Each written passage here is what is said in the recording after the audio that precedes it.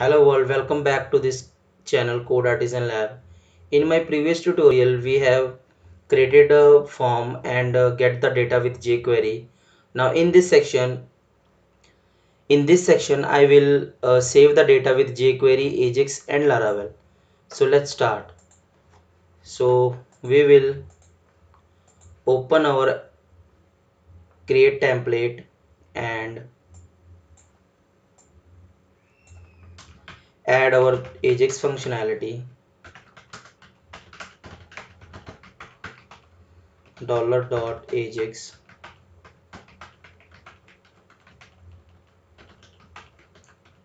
URL will be URL will be I'll put this with double curly braces. And URL will be employee create and type equal to post data is form data. Data type we want to get as a json. And before send we will show the button loading so we will here use this class save data and dot add class disable. And the text is loading. And in the success function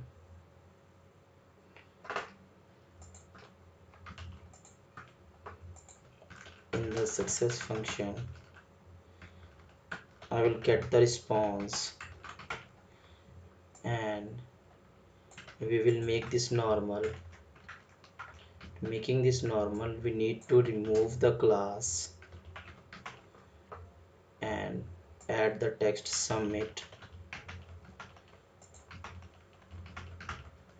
And we will show the message data has been successfully submitted so I will create a p tag here. And it's it will be class ajax response. And in the success we will show not html not html I will show the text. Data has been added okay. So now we will create a post method in our route file. Post and it will be a store. Now we will create a method. Store and pass the request context and we will uh, use the employee. Actually we need to create a employee model. So we will create the employee model first. Then we will do the other things. So here we will create php artisan make model employee and with migration so it has been created successfully. Now I will go to the database and open the migration employee migration file. Open this and add the three columns. And all columns will be a string. So here will be full name. And the second will be email and the third will be contact. So now I will migrate this PHP artisan migrate. So migration has been successfully. PHP artisan so now I have restarted my server so now I can use the employee database. Uh oh I'm not uh, we are using in migration but we need to use in our controller. Okay. So now we will create a emp equal to new employee. And this will be our this will be our full name equal to dollar m not dollar m it will request full name. Request contains a both request get and post. So I'm not here defining the http verb I'm just simply getting the in uh, getting the data. So here we will save full name email contact. This will be contact email. So now I will return response. JSON. I will return response JSON true.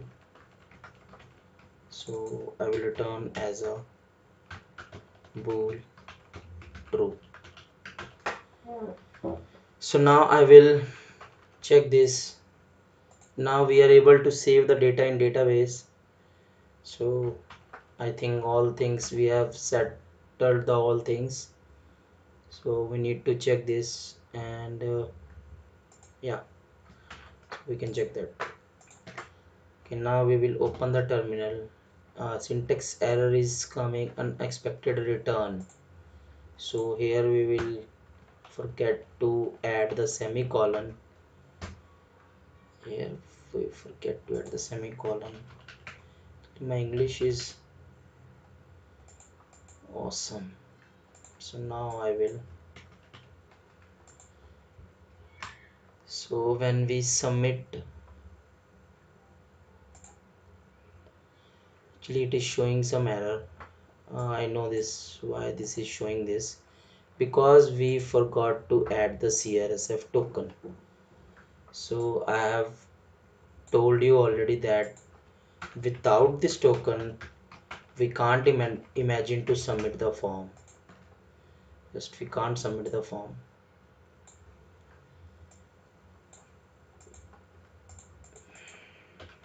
So so here submit so our bool is true.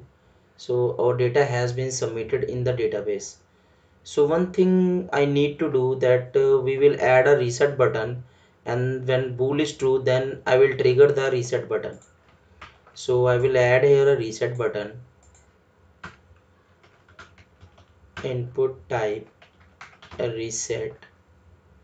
I will not mention the name. I will just mention the class button button dark reset button. And when we have successfully done this then we will reset the when we trigger the reset button. Click trigger. Uh, actually trigger click.